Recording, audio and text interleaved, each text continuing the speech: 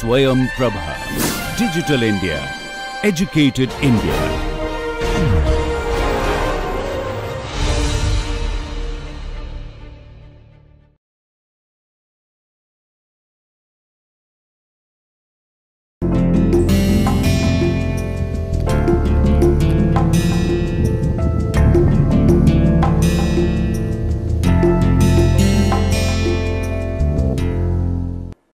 Hello friends, throughout this course we have seen about equation of motion for longitudinal motion, equation of motions for lateral direction motions, where its modes of longitudinal motions that is phugoid and short period, your lateral direction modes spiral, Dutch roll and roll.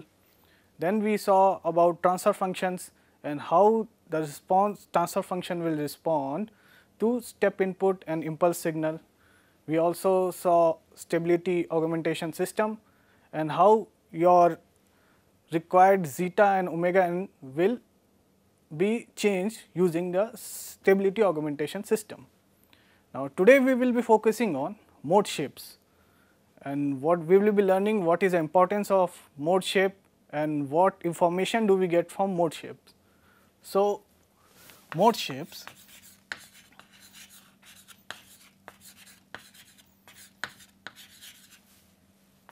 we will be learning first longitudinal mode shapes.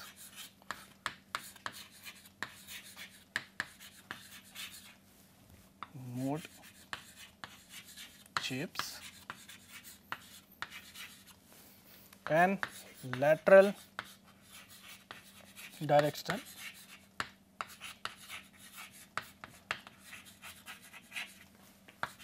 mode shapes. So, let us first focus on longitudinal mode shapes. Longitudinal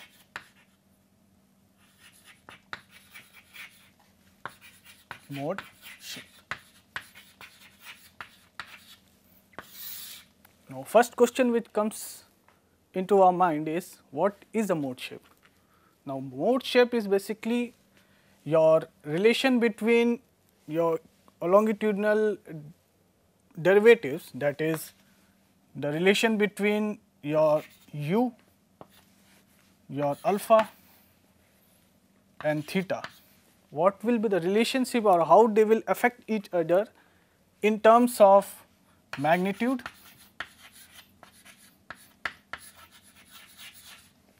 and phase. What is the relation between these three variables in terms of magnitude and phase. So, the best way of deriving the relationship between these derivatives will be to use the longitudinal equation of motion or you can say longitudinal equation of motion free from elevator deflection and gust. As we have already seen while deriving transfer function and uh, various modes of longitudinal motion, the derivatives or differential equation for longitudinal motion were u dot minus g theta into cos theta 1 plus x of u into u plus x tu into u plus x alpha into alpha plus x delta E into delta E w dot minus u 1 q equals to minus g theta sine theta 1 plus z u into u plus z alpha into alpha. Z z alpha dot into alpha dot. Plus z q into q. Plus z delta E into delta E. And third equation was q dot equals to mu into u plus m t u into u plus m alpha into alpha plus m alpha dot into alpha dot plus m q into q plus m delta e into delta e. This was already derived uh, while we were deriving transfer function and uh, phugoid and short period mode. Now, as we told to derive the relationship between these longitudinal variables, you have to neglect the elevator inputs as well as any disturbance or gust. So, let us uh, remove this or neglect this term due to delta E and making suitable substitution in this equation as we know that alpha equals to W upon U. So, using this equation or using this formula you can substitute the value of W in this equation and your equation will be in terms of alpha. So, making required substitution and neglecting delta E and taking Laplace transform of that, the equation will be getting will be of this sort. XU into U of S minus x alpha into alpha of S plus G cos theta 1 into theta of s equals to 0 minus zu u of s plus s into u1 minus z alpha dot minus z alpha into alpha of s plus bracket minus of zq plus u1 s plus g sine theta 1 into theta of s equals to 0 and minus mu u of s minus m alpha dot s plus m alpha into alpha of s plus s square minus m q s into theta s equals to 0. Any thrust derivatives which you encounter in, in this equation either it is neglected or you can assume that it has already been incorporated in your derivatives here. Dividing this differential equation by theta s we will get because we want the relationship between these uh, variables we will get equation as s minus x u u of s by theta of s minus x of alpha alpha of s by theta of s equals to minus g cos theta 1 minus zu u of s by theta of s plus s into u1 minus z of alpha dot minus z of alpha alpha of s upon theta of s equals to zq plus u1 s minus g sine theta 1 and your third equation will be minus mu u of s upon theta of s minus of um, m alpha dot s plus m alpha alpha of s by theta of s equals to minus s square plus m q s. You can write this differential equation in terms of matrix and we have already seen while deriving transfer function you can use that Cramer's rule to derive what will be the value of u s upon theta of s alpha s upon theta of s. As you can see this has three equations and two variables. You can choose any of the two equations and solve for u of s upon theta of s alpha s upon theta of s. So, representing it in a matrix form will get S minus x u minus m u using equation 1 and 3. This is equation 1, this is 2, this is 3. I am using equation 1 and 3, you can use any of the two equations. My matrix will be in the form minus x of alpha minus m alpha dot s plus m alpha into u of s upon theta of s alpha of s divided by theta of s equals to minus g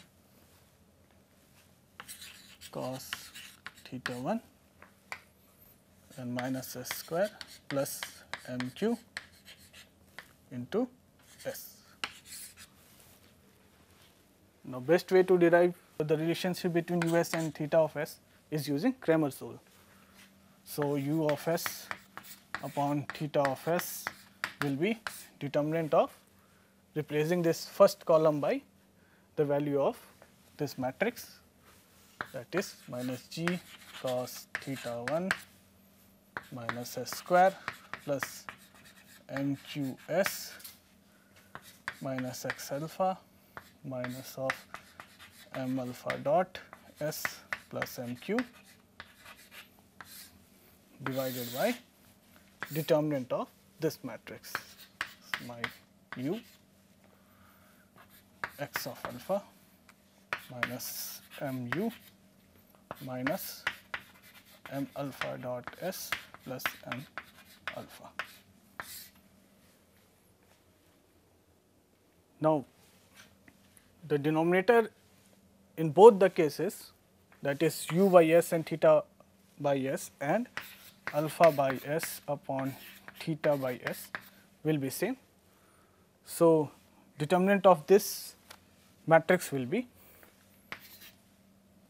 let us call it as D. D will be minus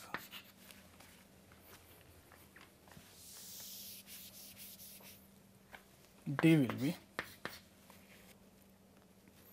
minus m dot s square plus x u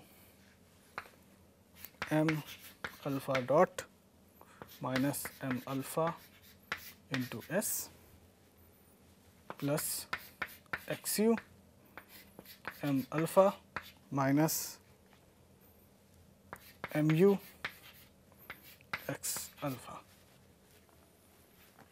Similarly, the numerator of this ratio will be let me call this as n 1.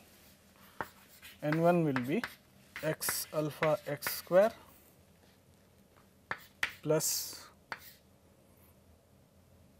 m alpha dot g cos of theta 1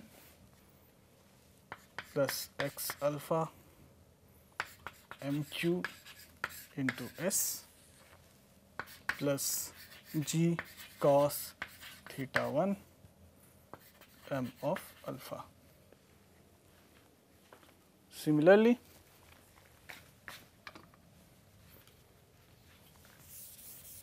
you can derive numerator for alpha of s upon theta of s which will be determinant of s minus xu minus mu and replacing the second column by your matrix minus g cos theta 1 and minus s square plus m q s.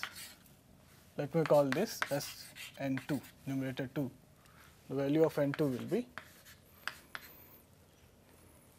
minus s cube plus mq plus xu into s square minus xu mqs minus mu g cos theta 1. Now, I have got the relationship between u of s upon theta of s in terms of numerator and denominator as well as alpha of s upon theta of s in terms of numerator and denominator. Now, the ratio of this will be in complex form since the value of s are complex. So, you will be getting this ratio in terms of complex number.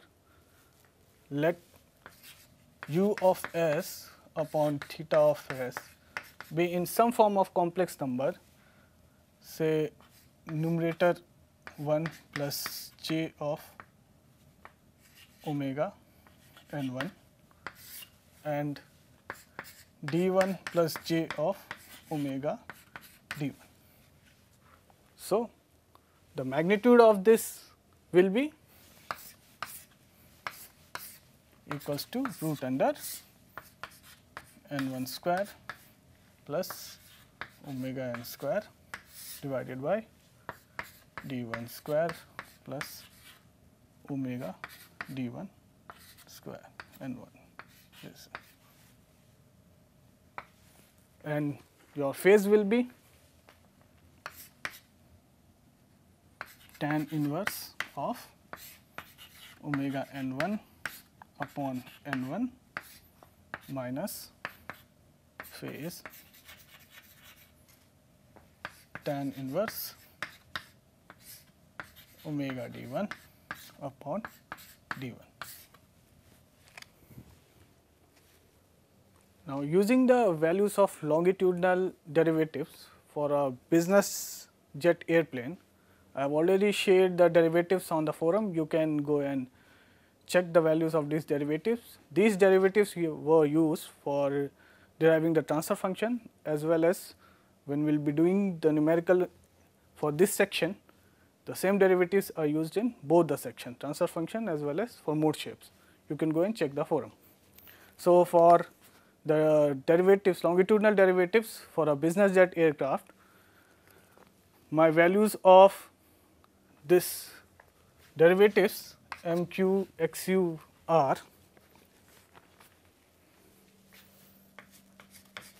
my m alpha dot equals to 0.407 x u m alpha dot minus m alpha equals to 7.451 x u m alpha minus mu x of alpha equals to 0 0.0465 for u of s numerator n 1 the coefficients which we calculated will be minus x of alpha equals to minus 8.46 m alpha dot g cos of theta 1 plus x of alpha m q equals to minus 20.985 g cos theta 1 m alpha equals to minus 238.336. These were for u of s. Alpha os similarly that is your numerator n2. The coefficients will be minus 1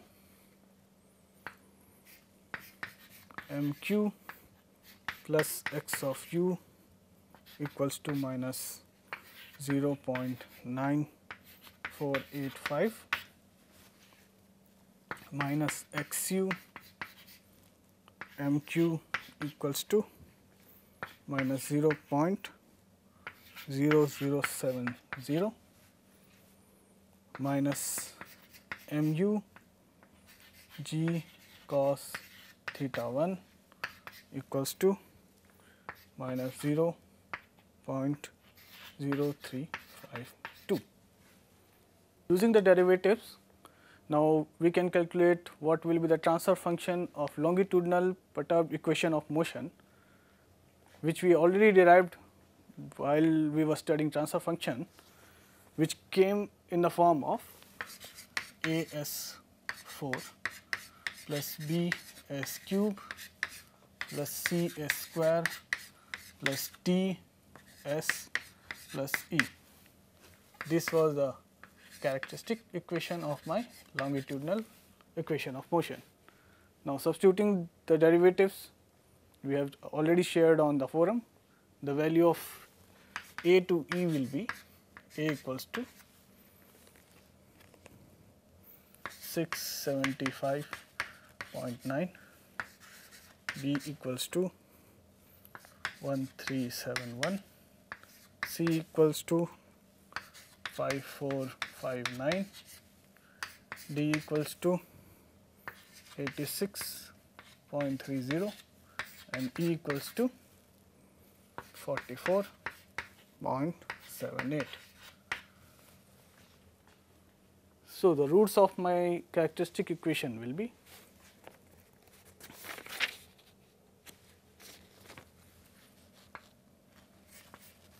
lambda 1 and 2 equals to 1.008 plus minus 2.6